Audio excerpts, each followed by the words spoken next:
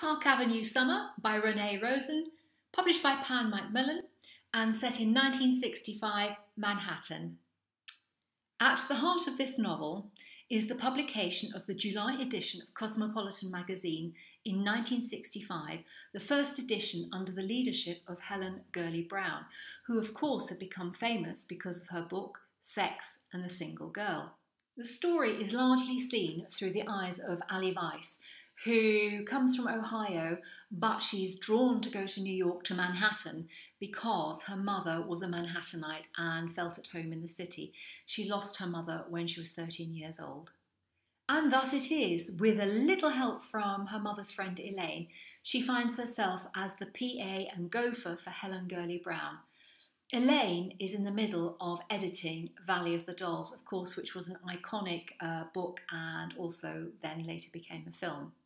This, of course, is the era when men still held sway, but women were just beginning to find their feet. The sexual revolution was just starting to happen.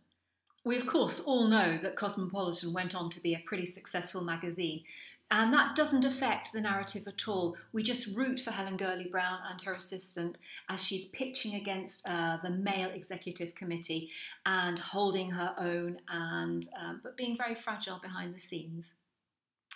Allie Weiss, of course, also has to navigate this kind of modern era, and so she has her own adventures, both sexual, boyfriends, um, and she is focused on becoming a successful photographer. It is clear that a lot of research has gone into um, setting an era, and the author herself says that she was actually inspired by Mad Men, but just wanted something that was away from the advertising industry, something a bit different that gave her a different focus for this narrative. There's also a real sense of authenticity because the characters visit um, some of the establishments of the time, like the Russian Tea Room, which still exists today, the St Regis, uh, the Tavern on the Green, which uh, closed and is now reopened again, and also some of the characters of the era pass through the narrative, such as Betty Friedan, Tony Curtis, Lauren Betty Bacall, um, and that all makes it feel like real and um, of its era.